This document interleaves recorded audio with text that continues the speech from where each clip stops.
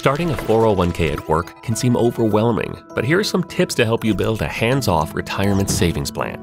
First, make sure to at least put in enough to receive your employer's maximum matching contribution. It's free money.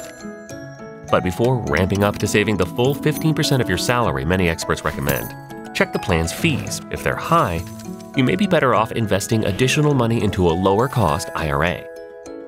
Second, most plans offer target date options that automatically choose the right mix of stocks and bonds and will become more conservative as you approach retirement.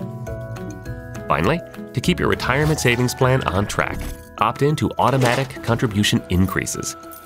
For more info on 401ks or to see how your funds stack up, take a free 14 day trial of Morningstar Premium.